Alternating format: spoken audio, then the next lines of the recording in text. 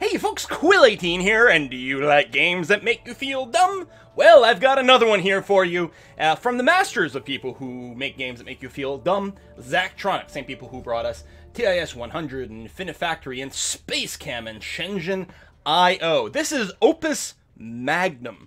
This is a game of alchemy over here. And you can see I haven't progressed very far. This is definitely going to be a let's try. Uh, but I also want to make sure that my video was only covering some of the earliest puzzles so that we wouldn't spoil anything too, too late. So, each one of these puzzles, and I mean, there's a first chapter with an instruction you can go through. It teaches you all the basics. Um, I mean, I'm not going to say that like the writing is the universe's most compelling kind of thing, but it gives the proper mood, nice art over here, and yeah, teaches teaches you all the mechanics over here. And then you go into your first set of puzzles over here, some of which I have solved. I'm going to work on airship fuel over here, and we're going to talk about how the game mechanics work. And again, you can see there's a bit of a story that is described, and we can propose a solution to the problem. So, the point of Opus Magnum is to build a machine that performs alchemical transmutations for you. It's a semi-programmable, semi-mechanical process to do that. In this example over here, our product that we are trying to accomplish here is airship fuel, which is going to be a bonded molecule with two elemental fire molecules over here and two, um, I think they're kind of they're they're they're something salt. We can actually click over here for the full transmutation. Yeah, just salt over here. So fire, both all fire, air, water, and earth can be transmuted to salt, and there's a couple other variants over here. And then other elements like lead, for example, can be transmuted upwards all the way to gold. So some of these transformations, and then these things can also be bonded together. So we're looking to create something that looks like this in the end. I haven't actually solved this puzzle yet, but I think we can probably work it out. One of the interesting things is for the puzzle, there's definitely not just one solution to the puzzle. There's, well, probably infinite number of solutions to the puzzle. But at the end, you do actually get scored based on the total cost of your device, as well as how many processing cycles it took to accomplish the, the needed products. Um, usually you have to make more than one, as well as the area, the size of the machine that you have built, and it compares it against your Steam friends to make you feel extra dumb in the end. But it also means there's different goals. Sometimes you're going to want um, a large, expensive machine that produces things very fast because you're trying to see how few cycles you can use, or sometimes you're going to try to build a tiny, very cheap machine that may work a little bit slower. Let's focus on tiny and cheap for this particular one let's talk about the examples. So I've got access to up to three of these reagents. Now these will spawn one constantly. This is an unlimited supply of these reagents. Sorry, I was pronouncing it wrong. Um, and you can put it anywhere you want. and then we've got a variety of mechanisms over here. So for example, we have a variety of arms. This is an arm, you can put it anywhere, that'll be the pivot point. You can change its length up to a certain amount, and you can set its initial rotation if you want. So for example, what I can do is, let's say I were to swing this guy over here, maybe move him up this way, this machine has its arm over this reagent, and then I can program this machine. This is arm number one, this is row number one over here, and here are all the various commands that I can give it. For example, I can give it the grab instruction. And just by putting it in there, it'll do a grab, and then let's say I tell it to then rotate over to the side. If I were to hit play, we're gonna see that in effect. It's gonna grab, and then it's going to keep rotating here because it keeps trying to replay the grab instruction over and over. And at some point, it loops all the way around and we get a collision, which is a bad state what I could do is have this arm rotate. Let's say we have it rotate three times, and you can use the hotkeys to quickly put it down. And then I'll go ahead and tell it to drop that piece, and then again, rotate three more times, and that'll be the full cycle. It's gonna grab over there, drop, rotate, grab. Again, we'll get a collision, but you sort of get a vibe about how this is going. Okay, so how are we gonna create this? Obviously, we do need the elemental fire to be dumped in these two slots, but we also need salt over here. How do we get salt? Well, salt is something that you can create using a glyph. There's a glyph of calcification, which transmutes any of the four cardinal elements, air, fire, water, and earth, into neutral salt. And it does it just when you pass over. If I just take this glyph and say put it here, or let's put it there for the sake of whatever, and let's say I hit play again, as soon as the fire passes over this, it'll turn to salt, and we drop the salt down there. You don't have to drop it on there, just as soon as it passes over. Okay, so we can get salt, we've got fire, that's great. The problem is we can't just dump things as is because these actually have to be merged together. They have to be bonded. Let's take a look at what's involved in doing that. Um, let's get rid of this for a second and let's grab one of the glyphs of bonding. And you can rotate these as well. So let's say I go ahead, uh, you know what, I'll leave it there. And what we're to do is we're to have this arm drop um, one fire here, which is already doing. And then what we're to do is we're to have it reset. I'm to use a, actually an easier way to reset. Right over here, reset instruction. If I put that there, it'll automatically perform all the steps. It'll drop whatever it's carrying and then reset itself to its original position. It takes just as long to do it as if you'd manually programmed it in, but you don't have to worry about actually typing in that in. Then what we're going to do is we're going to grab another file elemental, er, element, and then I'm going to rotate leftwards twice and drop it right there. And I'm going to drop it by putting another reset instruction. So if we let this play, it'll drop one here, then it'll drop one there, and these two are now bound bonded together, which we can see evidence of that if I were to say put another arm over here and get it to wait until right this step. We're to grab, and then I'll just rotate a couple of steps over and we'll see what'll happen. There we, oh, right, it's to, let me rotate the other way so we don't get a collision. we'll see what that looks like. So it grabs, you can see that these are now bunched together. Okay, so now we kind of have all the tools we need to solve this problem. Now, there are many other different mechanisms over here. First of all, there's twin grabbers, hextuple grabbers, and so on. There's also um, this here is a piston which you can actually change length. It's got the same um, length range as one of these fixed arms, but you can actually give it instructions to grow or shrink with a W and S over here. So as it goes, it can grow and shrink. And the final mechanism over here is actually a track, which you can actually draw any kind of path here and you can get things to move one step at a time along this track. So there's actually quite a lot of uh, flexibility in how you do your machines. Still, I think we can do this one fairly small. Um, let's figure this out here. We might even be able to do this with just one arm. We're obviously going to need a glyph of calcification, and we're going to need a source, and we're going to need some sort of bonding. Um, if I go and do this, so the salt's got to be on the ends. Let's see here. Let's set this as the initial position. Let's get rid of these, and let's clear all these instructions. So let's tell you to grab this, and then go two spots clockwise, and then reset, and then grab again, go one spot clockwise, which should bond it instantly, and then go again. What will this do? So you drop there, boom, okay, and then it'll keep trying to, uh, that's interesting, hold on. That is very interesting. As far as I know, there's no way to scrub through the timeline. Although you can step one at a time. So if we do this, and the next piece, as soon as it goes there, that's actually a really good shape. That's the next grab. I think we got to continue with the sequence here. Um, so you're going to reset. You will, again, grab, move one clockwise. Then what you're going to do is you're going to pivot like this, move clockwise again, and then I think reset. And do that, drop there, pivot, and do this. And then what we can do is grab one more over here, place it... Oh, I think I, I got to pivot this a second time. Yes, I do. But then place it here, and then pivot it again, get this one to pass over that symbol, so both ends will be salt, and then we'll put it in somewhere else. Um, so right here, I got to take this, move it over by one, and put in a second pivot.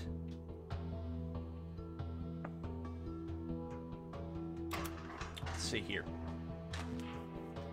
So you're going to do that, pivot twice, go there, and then um, after the reset, you're going to grab one more time,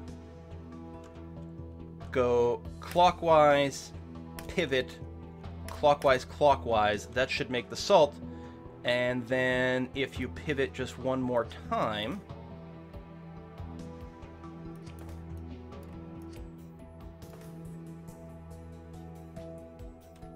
or rotate one more time, I think we're okay. Let's take a look. So you go there, you go there, do that, you go there, we pivot, and yes, but before you reset, we've got to pivot um, anti-clockwise twice. Um, so that is the Q over here. Do do. I think we've got a full segment using only one arm here. Now, I don't expect to win any records for the boom. And it'll go with every loop. It'll go faster and faster because we got to get a total of six products. It'll go faster and faster and just power through this. I don't think we're gonna win any speed records here, but um, I don't think you can do this with any fewer materials than this. You might be able to rearrange things to use slightly less area, although I'm not entirely convinced about that. Okay, one more product needs to be made, and bam. Woo! All right. So the two other people on my friends list who have completed this puzzle, we've got Roe and Emmerich over here. I definitely have the cheapest solution over here. I think this graph shows you um, the solutions that all players overall have produced. I have the slowest machine out of my two friends over here, however. Not really a surprise. I might actually be able to optimize the cycle um, with this machine just by moving a few things and minimizing some of the swinging, but I'm not 100% sure about that. Um, and in terms of area, actually, the area is quite big. Now, I don't believe, I don't know for sure, but I don't think these scores are necessarily for exactly the same puzzle. I think I could make this cheap one, get credit for it, then make a whole nother one based around fewer cycles, get credit for that while keeping my old score. Not 100% sure though, but I'm quite pleased with this because this is what I was going for. So we can re return to the menu, we get a bit more flavor text about this. Excellent. And then we can do that. Now, if I want to create a new solution, I can. I can just create this. So let's, you know, let's let's name this one to be um, cheap. Boom. And then we're going to do another solution over here. We'll try to see if we can make everything a lot faster. You know, cost be damned. Um, it's a little annoying that we only have the four, or the three, three reagents when we need four drop-offs.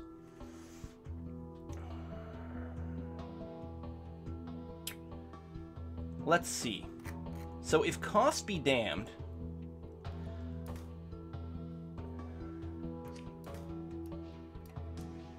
let's assume what we're going to do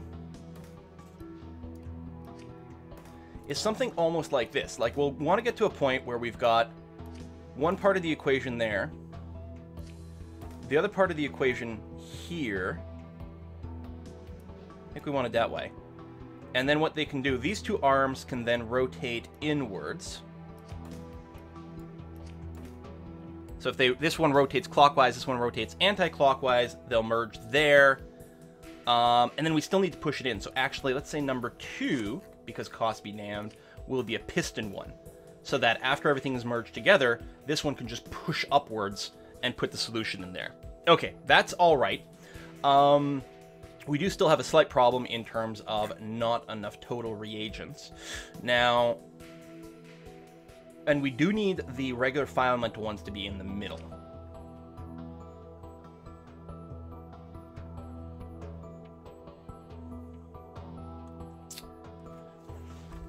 Hmm.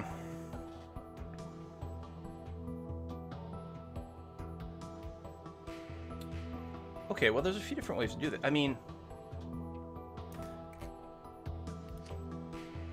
I could have a calcification over here.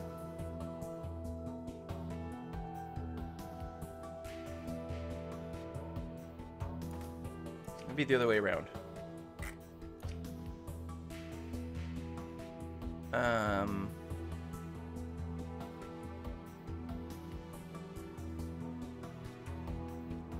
Oh, you've got the long distance as well already.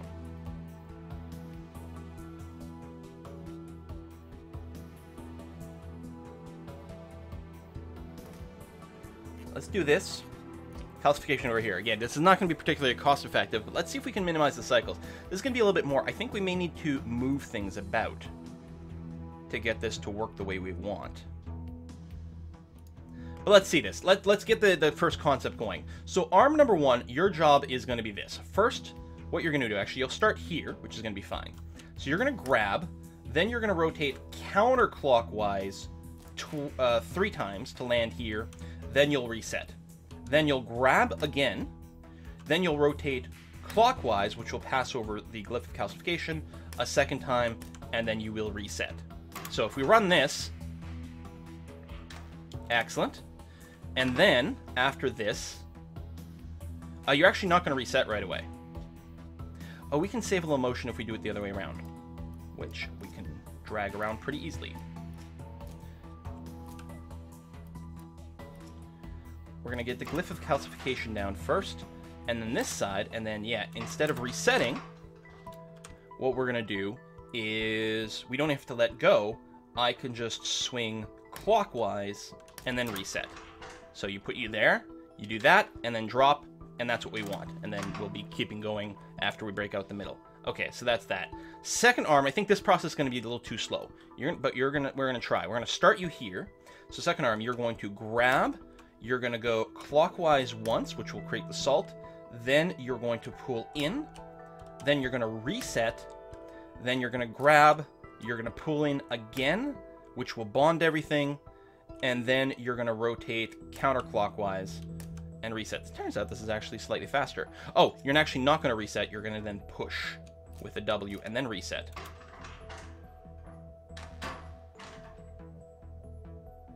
Um...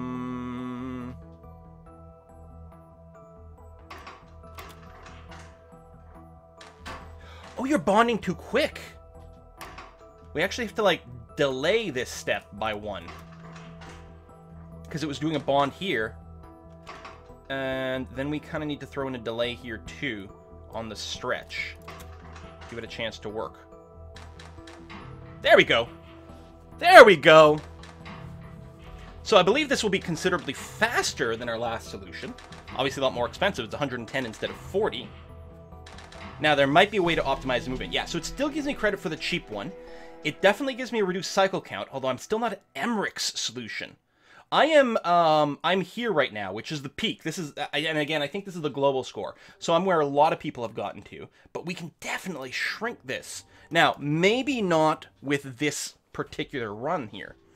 Um, we really need to see if we can shave off an an, um, an operation or two per cycle. Can we get a little less swinging going on by moving things?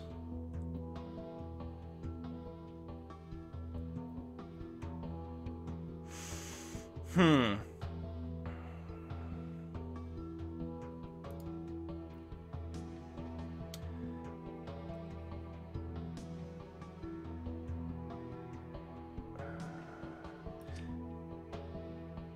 If you were here...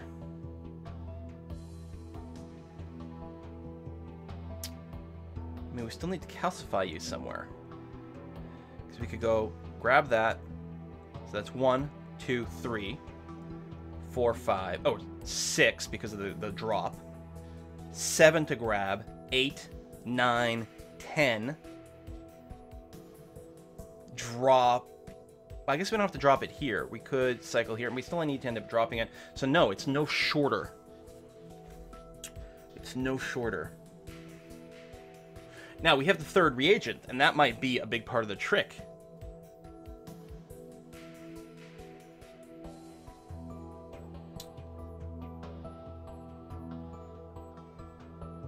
Let's say we start a new solution here.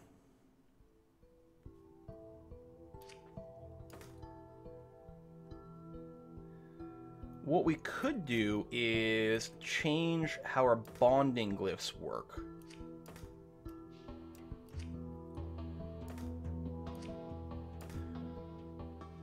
Um, like this because we could assemble here and then use a pusher arm. Because if we're going for pure speed, right? To then grab and just shove it over there.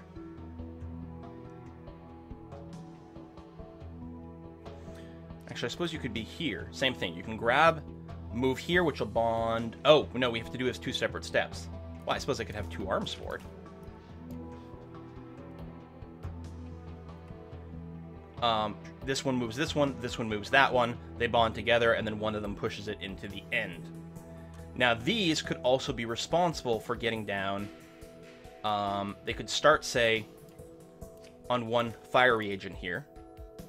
One goes, the other one goes, gets them in place. Meanwhile, we just set up something very dirt simple, like this and like this, with a fixed arm to grab there, and another one. Um, I just want to make sure they're kind of out of the way, like here, and calcifier, and this like this. So, for example, 4 is going to be very simple. Grab, um, counterclockwise, counterclockwise, reset. 3 is also going to be very simple. It's going to be a grab, um, cl clockwise, clockwise, reset. There you go, we get the salt in the right position. And then 1 and 2, we'll have 1 go first, which is going to be a grab, and it's got to go counterclockwise three times to end up over there. And it can just sort of hold. You're going to have to go clockwise four times.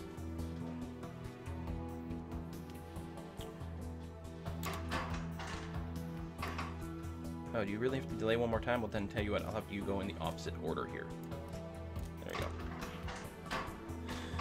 Gonna hit there unless three delays. See, I don't like the fact that there's delays. This is probably a positional thing that we could optimize, though.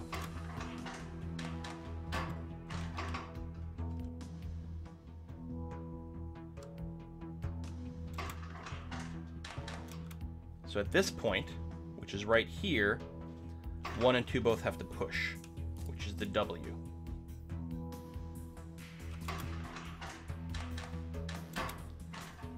Excellent. Um, they push one square, at which point we'll have, um, I don't know, one reset, whereas two pushes forward and then resets.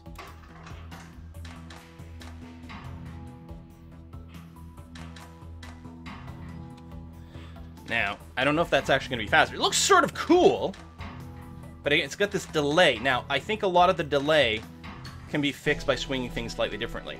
I think we're exactly the same number of cycles. Oops, I didn't want to exit out. Um, so if this swung the other way around,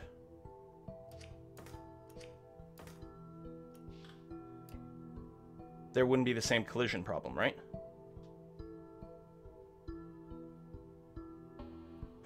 Well, I guess these still have to wait kind of for each other.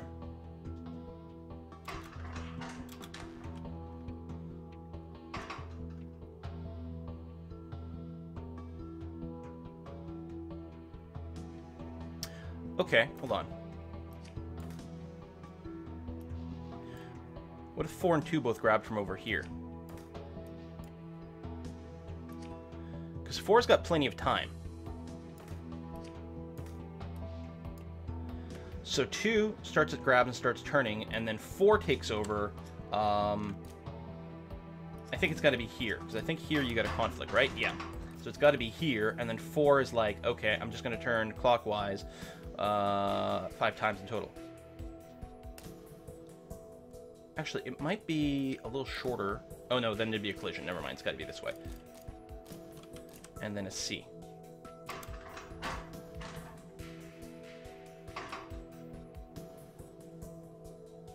And then 2 doesn't have to rotate as much. Just doing a single rotation.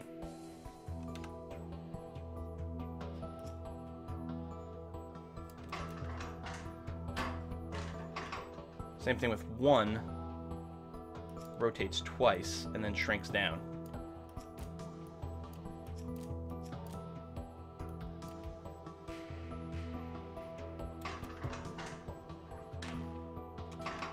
Okay, they're pushing too soon. Yeah, now 4 is slowing things down. Uh, let's have 4 start first, actually.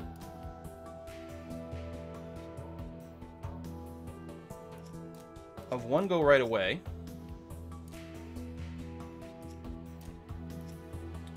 Then 2.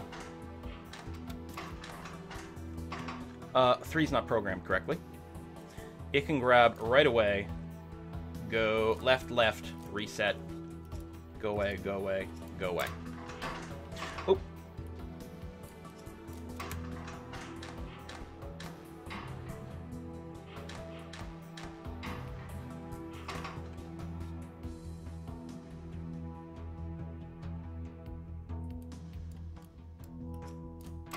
squeeze that in a little bit more. Well, that's a little shorter.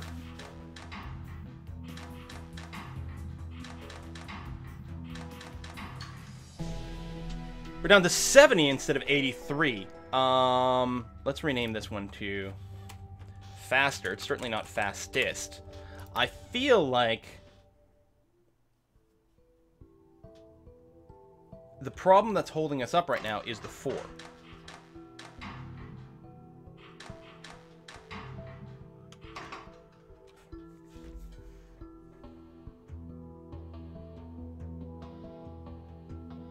So how do we get the 4 to not take as long to go around? And not collide?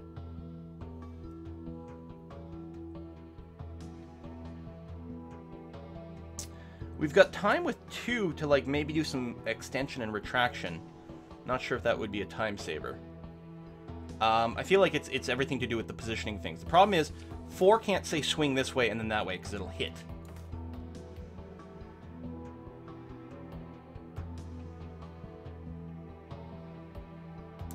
And I can't put the... I can't put the element here. I could put... I could use a track. That's something I hadn't considered, actually.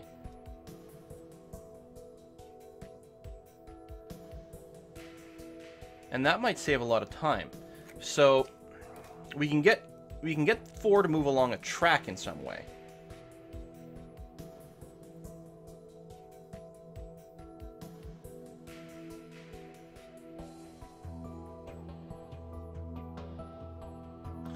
Let's say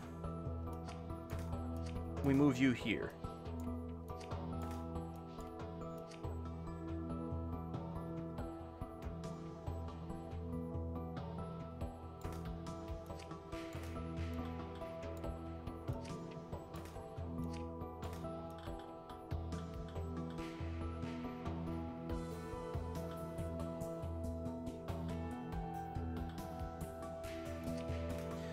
Is that any better? Nope, not really. I was going to say you put the glyph of calcification here, but it doesn't help. Ah! Oh, I'm sure there's a way to make this faster. Well, I'll tell you what, I'm going to leave that as an exercise to the viewer while I work on this. Um, could be a multi-thing, especially if, like, cost doesn't matter. Because this is the bottleneck. No, not by much. Really, we can only afford to shave one turn off here. Oh, no, that's not true because as long as it drops off here, because if we got the 4 to reset this much, so limit it to like 3 rotations, then we could get everything to slide back a lot more. I don't think a track is the solution. I think it is a positional thing, though.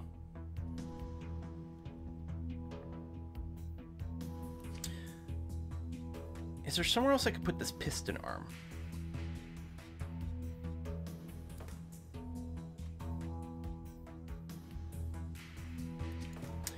4 could also have a reach of 2. I don't think that'll calcify anything. That's vaguely interesting.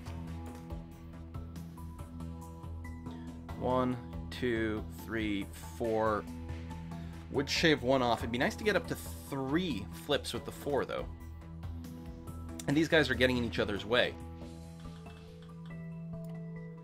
and too many sort of like and this is all of a sudden a lot of rotations in this too oh, there's an obvious solution and i'm not just i'm just not seeing it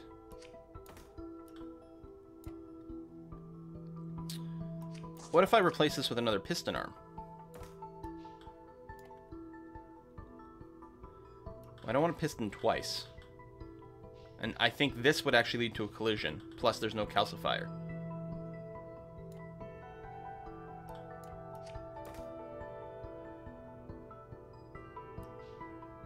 And that doesn't reach that.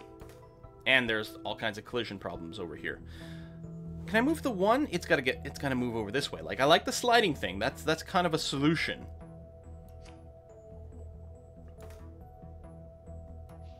So I have you come here, retract. Okay, so grab, retract, turn, Would that be any faster? Having a hard time sort of spotting it. Oh, I had an extra one of those. Um, if 4 did a grab, retract, um, counterclockwise, extend, reset.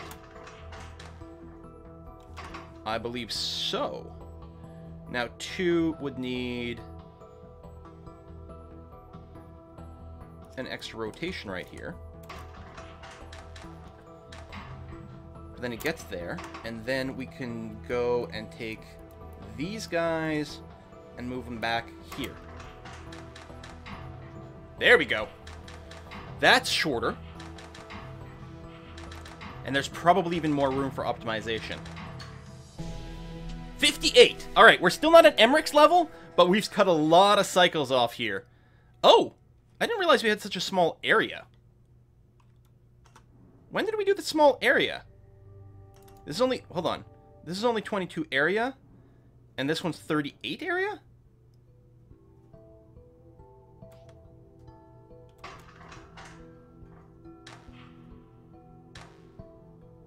Because of all the swinging. Oh!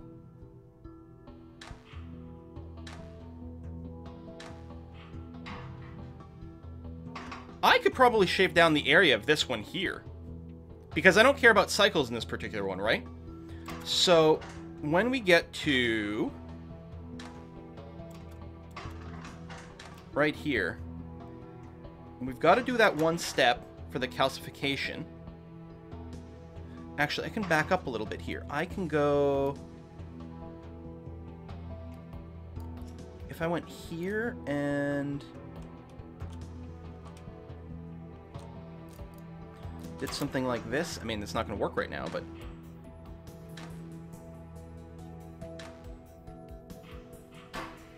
I don't know. There's probably a way to do it. Um, I'm just going to go and undo here. I think this is my working solution. I mean, I think it'll it'll save the like last working version. But I didn't realize the area included everything swinging around outside. I'm like, how is this so freaking big? And the nice thing about other solution, there's very oh we don't have it. Um, whatever, it's fine. I assume you're still working here. Watch us have just broken this thing. Show current area. Oh. Oh, look at that. Yeah, yeah, I, I done did break it. Uh, it's fine. It's fine. We're going to leave it there. So we got faster and apparently smaller over here, which is very interesting. Anyway, I think that's quite groovy.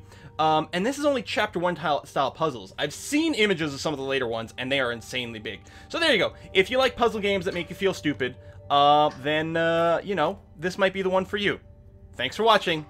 See you next time, folks. Bye-bye.